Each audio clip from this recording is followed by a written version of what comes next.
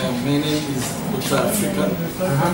I'm a final resident at uh, Kilimanjaro PCR Medical Center in Tanzania. from Tanzania. Uh, I knew MPH uh, when I attended my, for the first time the PAUSA conference, Pan African Urological Conference, and uh, at that time Professor Mahesh uh, Desai uh, had a presentation, and at that time I knew about uh, MPH. Okay. Yeah.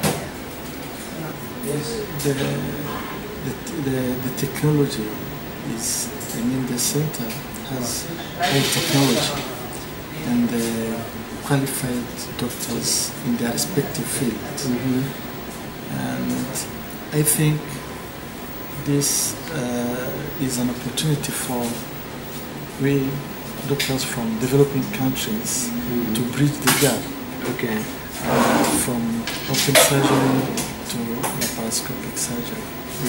Uh, as uh, I have seen they are doing a lot of uh, robotic surgeries, and that is not an alternative for Africans right now, but still we need your laparoscopic skills.